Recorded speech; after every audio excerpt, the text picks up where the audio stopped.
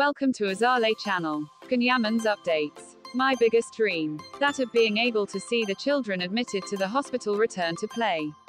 A desire that Can Yaman wants to make come true thanks to the association, Can Yaman for Children ETS, a non-profit association created by the Turkish actor who has always, following his motto, love generates love, has a special attention for the most fragile, especially the little ones.